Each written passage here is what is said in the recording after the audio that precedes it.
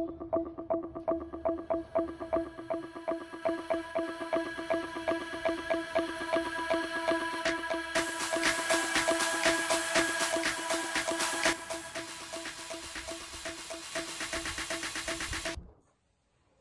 friends welcome back to my channel मैं स्मिता। आज के वीडियो में मैं आपके साथ शेयर कर रही हूँ। किचन के लिए एक बहुत ही यूज़फुल प्रोडक्ट जो कि है हैंड ब्लेंडर और ये हैंड ब्लेंडर चॉपर और विस्क के साथ में आता है तो इसकी यूटिलिटी और भी ज़्यादा बढ़ जाती है।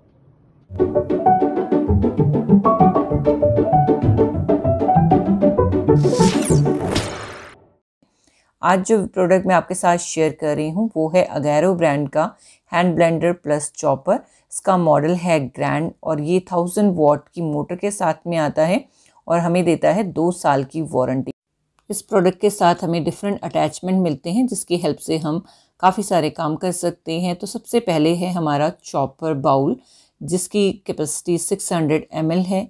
नेक्स्ट है ब्लेंडिंग जार जो 900 हंड्रेड का है। अच्छी कैपेसिटी है इसकी भी। और ये है मोटर मोटर के साथ ही हमारा हैंड ब्लेंडर अटैच्ड है। साथ ही हमें एक विस्क मिलता है और विस्क का इस तरह का एक अटैचमेंट है जो कि मोटर के साथ अटैच हम कर सकते हैं। तो इस तरह से एक ही मोटर के साथ ये सारे अटैचमेंट हमारे काम करते हैं।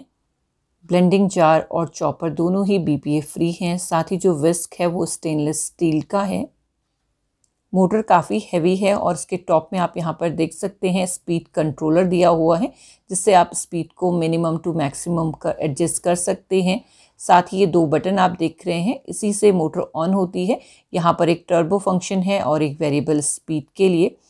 इसकी बॉडी स्टेनलेस स्टील की बनी हुई है, साथ ही यहाँ से डिटैच हो जाता है, जिसकी वजह से आप डिफरेंट अटैचमेंट मोटर के साथ एडजस्ट कर सकते हैं।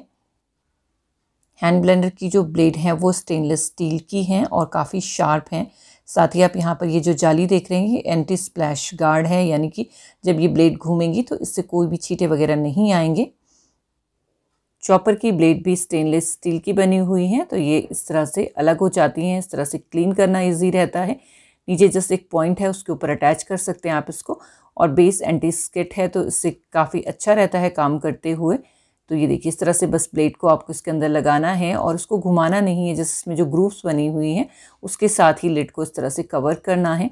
लिड के ऊपर आप ये पॉइंट देख रहे हैं, सेम पॉइंट, वाइट कलर का हर अटैचमेंट में आपको मिलेगा और इस तरह का एक शॉकेट टाइप का मिलेगा आपको मोटर के ऊपर। बस इसी के साथ ही अटैच हो जाता है, इसमें घुमाना नहीं होता, जस्ट ये फिक्स हो जाता है इसके साथ, जैसे आप इसको नीचे प्रेस करेंगे तो इसी तरह सारे अटैचमेंट को आप मोटर के साथ अटैच कर सकते हैं और अपनी चॉपिंग विस्किंग और ब्लेंडिंग का काम कर सकते हैं।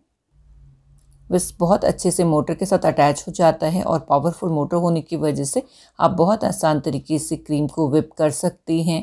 ब्लेंडिंग जार में इस तरह से मेजरिंग स्केल बना हुआ है तो आप इस तरह से इंग्रेडिएंट को इससे मेज़र कर सकते हैं। इस तरह से ओवरऑल ये सारे अटैचमेंट मिलकर इस हैंड ब्लेंडर को बहुत ही यूटिलिटी वाला बना देते हैं, क्योंकि किचन में जितने भी काम होते हैं, सारे आप इस हैंड ब्लेंडर चॉपर और विस्क की हेल्प से कर सकते हैं। तो चलिए देख लेते हैं कि किस तरह से ये सारे अटैचमेंट काम करते हैं। तो सबसे पहले हम ब्लेंडर का यूज़ करके एक अच्छी सी लस्सी बना लेते हैं। तो जस्ट आपको अटैचमेंट को मोटर के साथ इस तरह से पुश करना है और ये अटैच हो जाता है। तो इस तरह से ये रेडी है हमारी मोटर इसके बाद हम ब्लेंडिंग जार में लेंगे दही।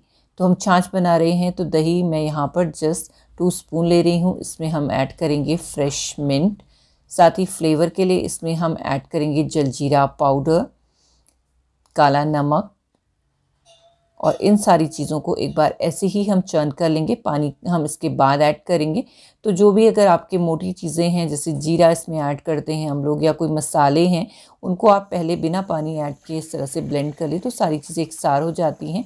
उसके बाद इसमें लगभग मैंने 600 हंड्रेड पानी ऐड किया है और थोड़ी सी स्पेस ऊपर ज़रूर आप रखें अदरवाइज़ बाहर निकलने के चांसेस रहते हैं क्योंकि इस तरह से जब ये रोटेट होता है तो उसको रोटेट होने के लिए स्पेस चाहिए और ये आप देख सकते हैं इसकी पावर मैंने अभी ये मीडियम स्पीड में ही किया है और काफ़ी अच्छे से विद इन मिनट हमारी ये छाछ बनकर रेडी है।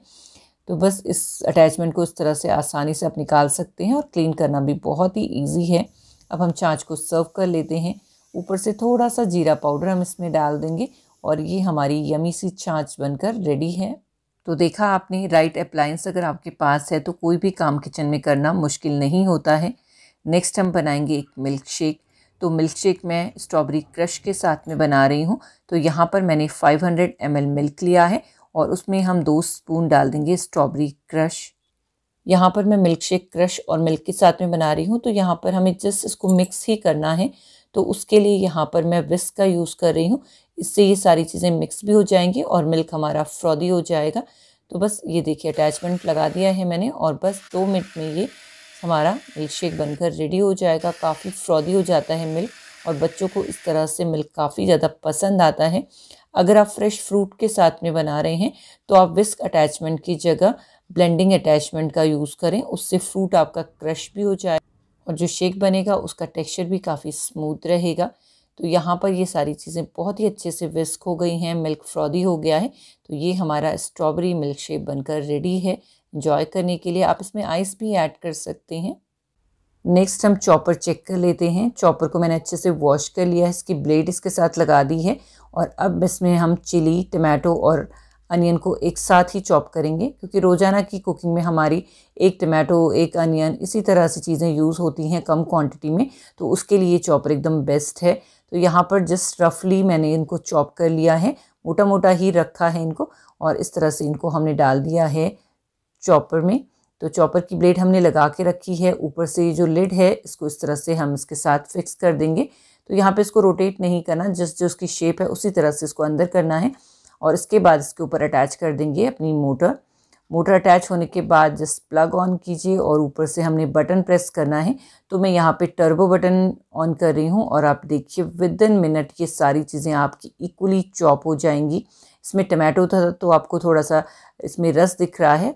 अगर आप अनियन को अलग से करेंगे तो बहुत ही ड्राई चॉपिंग होती है और काफ़ी फाइन तो बस इस तरह से ये देखिए चॉपिंग भी हमारी डन हो गई है और काफ़ी अच्छे रिज़ल्ट हैं इसके, काफ़ी शार्प है इसका ब्लेड तो देखा आपने कितना कन्वीनियंट हो जाता है इस तरह से किचन में काम करना। अगर हमारे पास कोई राइट अप्लायंस है हैंड ब्लेंडर एक ऐसा अप्लायंस है जिससे किचन के काम मिनटों में तो हो ही जाते हैं, साथ ही इसको यूज़ करना काफ़ी कन्वीनियंट रहता है। इसमें बहुत ज़्यादा आपको तामझाम करने की ज़रूरत नहीं है सिंपल सा अप्लायंस है और इससे आप बहुत सारे काम अपने कर सकते हैं। तो मुझे तो इस प्रोडक्ट के साथ काम करके बहुत मज़ा आया क्योंकि इसकी पावरफुल मोटर से काम बहुत ही ईजी हो रहे थे। आपको ये प्रोडक्ट रिव्यू कैसा लगा, मेरे साथ फीडबैक ज़रूर शेयर कीजिएगा।